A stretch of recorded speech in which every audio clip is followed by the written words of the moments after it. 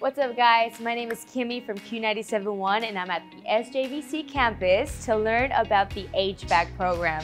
With me, I have Mr. Reynolds, who is instructor here for the HVAC program. How are you, Mr. Reynolds? I'm wonderful. How are you doing? I'm so excited to be here because Good. I'm going to learn so much about the program. Now, can you tell me a little bit more about the HVAC? So basically here in the school, we, uh, we start them out from the very basics when it comes to electricity, refrigeration, and air conditioning, and we'll work them all the way up to the advanced to where they can actually install a piece of equipment themselves. Wow. Um, yeah, so we, our whole goal here through this program is to get them to a point that they are job ready. Well, can you take me to go check out the students working? I want to see exactly what they're getting into. Yeah, so Maybe get- I'll get my hands on something too. All right.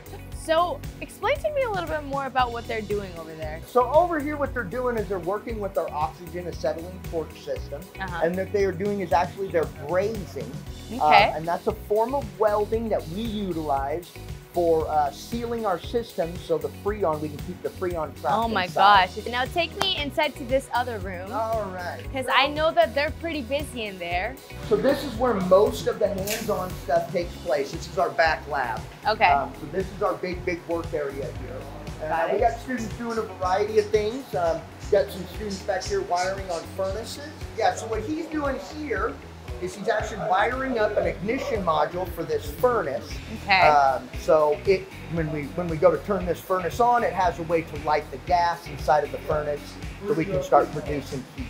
well, show me what they have going on over here. What we have these things doing here is recharge, our recovery and recharge. So anytime that we have to open up a system to do work in the refrigeration end of it, EPA requires us to recover that refrigerant um, so it's not released into atmosphere. Okay. And then we vacuum and then they will recharge it with clean refrigerant. It is vital that they understand this because they will all be required to take a federal certification test. Well, Mr. Reynolds, you've taught me so much already, but is there something that I can get my hands on? Like Well, something that I can do? I mean, I feel like I learned a little bit already. Well, you seem to be a little excited about what they were doing outside there. Mhm. So I got my go goggles on. All right. Interesting. I'll get it. And how, how hot is it again? 1700 degrees Fahrenheit. 1700 degrees Fahrenheit, y'all. All we're gonna do is we're just gonna take this and we're just gonna put it up next to that pipe and we're gonna move it up and down until it starts to get kind of red. It's hot. bending That's all right. just a little bit. And then once it starts to get red hot, It's melting. we're just gonna take that solder. And That's braze so it on cool. Just like that. Whoa. All right. That's awesome. And Okay. it's not hot. Just good, get a good grip on it. I'm getting Okay? it. Okay. And now all you're gonna do is you're just gonna take that flame, and you'll put it right on that pipe, and you're gonna move it up and down until it starts to turn red. Okay. And as soon as we start to see that thing turn red, then you're gonna add some rod to it. This is so cool. So cool. now go ahead and touch that rod to that pipe. There you go. Get the torch on it. There you go. Ooh, it's melting. There you go. Hey, this little stick is melting too. Yeah, pull your pull your heat off a little bit, and then there you go. Oh, whoa. That's this is crazy. so Look awesome. at that. Look at that nice big glob. You you did a better there. job than me, but How was that? but you're a pro. That was so cool. So that's staying like that? That's gonna stay just like that. In fact, that that- Whoa, that, that just rod is cooled going off to, now. It's going to cool off and be harder than the actual pipe itself. no way. Yeah, and now I'm gonna watch you can do this, and I'll show you exactly how hot this thing can get. Look at that. Whoa. That's hot.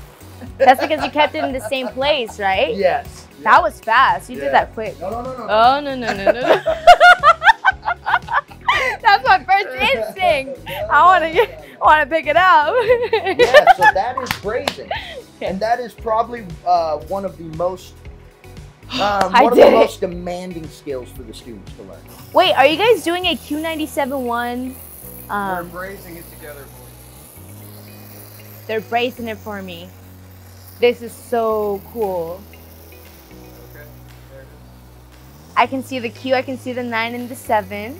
Interesting work back there. Yeah. well, Mr. Reynolds, a pleasure. Well, thank, you so you. much for having me. All right. I learned a lot. I loved the experience, and I got to try a little bit myself too. And it's not easy work because I was like a little scared that I was gonna chop my finger off.